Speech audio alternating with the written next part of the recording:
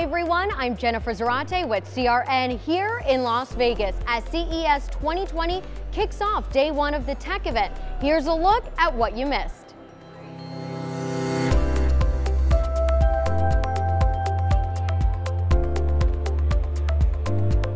I'm super excited to be here today to present the Meeting Owl, which is the Meeting Owl Pro. It's the second generation owl in our lineup of products, and we're here receiving the Innovation Award for robotics in this space. And um, it's an interesting space, it's an interesting time for us because we're seeing a lot of interesting, a lot of great growth. I believe that 2020 is going to be the decade where companies take distributed work extremely seriously. If you think about it, hiring talent is like one of the biggest problems for so many companies, but talent is normally distributed. So I think tools like the Meeting Owl, they let you digitize the space. They let you capture the information when the, the customer or the employee can't physically be there. And then there are software applications that will be able to combine that information and stream it to them so that they feel better connected to the content in the rooms that they cannot physically be in.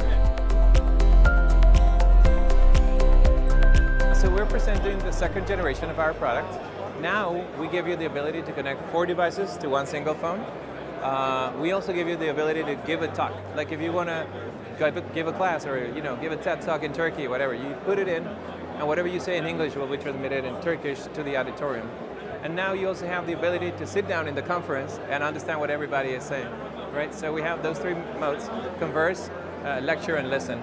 The intention of this product is that you can speak naturally as if you were talking to a friend and that you can understand everything you are saying. So machine uh, learning has been improving a lot.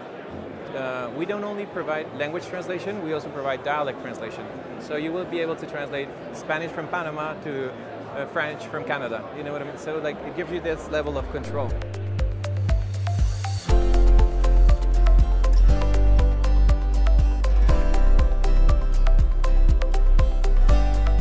So WHILL is a manufacturer of personal electric vehicles that we're um, you know, developing to change people's perception of mobility devices and also to give individuals more confidence and independence to enjoy the activities that they love.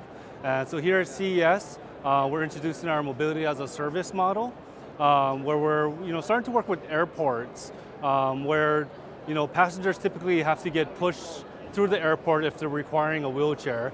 Uh, but with our technology, we're utilizing autonomous technology to move guests throughout the airport on their own, full independence.